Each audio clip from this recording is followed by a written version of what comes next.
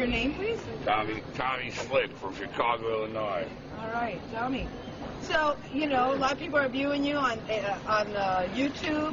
Yeah. That incident in AC Transit. What do Yeah. you think about all of this? Oh, it's a little overwhelming. A little overwhelming. I don't deserve all that attention. I'm just doing what's right.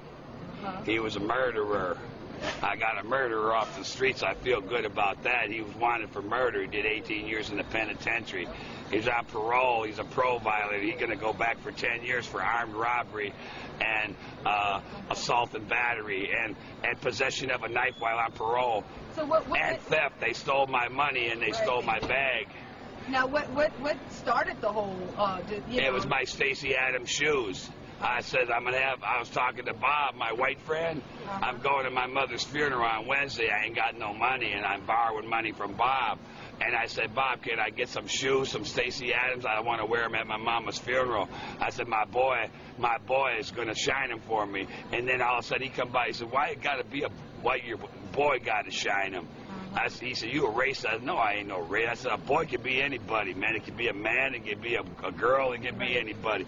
And then I says, my brother, and he said, your brother? Why it got to be a brother shining? I said, listen, man, you a racist. I said, because white, green, yellow, and black is a brother to me. Right. I ain't no talking about no black man.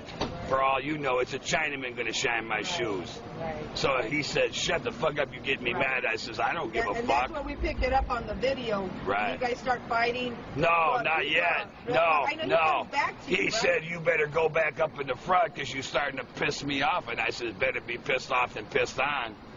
You know? So I went to the front of the bus because I was getting real mad. And then I was getting scared when he showed me that knife. And then I heard the old girl say, get that nigga.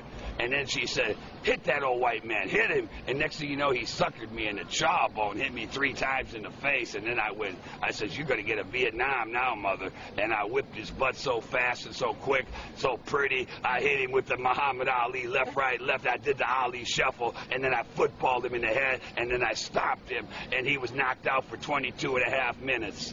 What's it called? Now, now, uh, police, did they... uh, They arrest- took me. They had. I put my weapon down. I had my shank on me in my pocket. My shank. I carry my. I'm 67. I'm a senior, so I'm entitled to carry a weapon.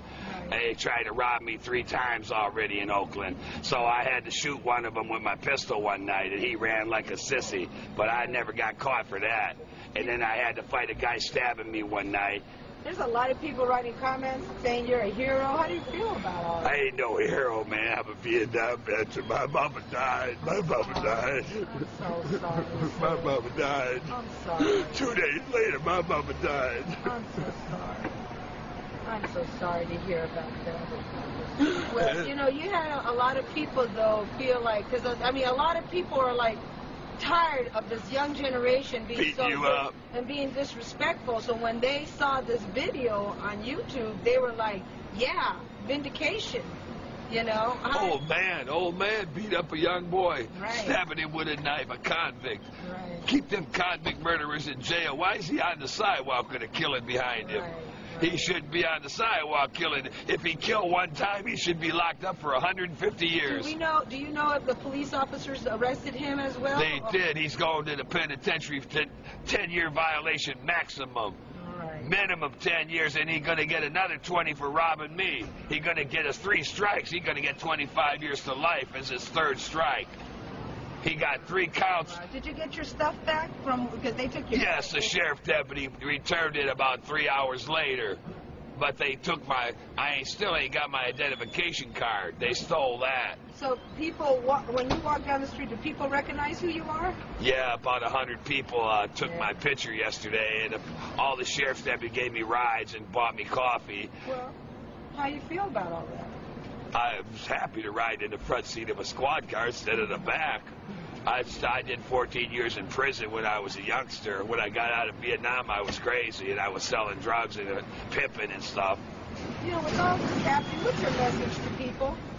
Don't fuck with old senior citizens. They'll surprise you once in a while. You might beat them once in a while, but they're going to get you every once in a while. You're going to come up and hurt you. Okay, thank you. Did you want to add anything else? Yeah, God bless America and stop the war, Mr. Obama. And I'm happy Bush is out of office. All right, wonderful. In the neighborhood.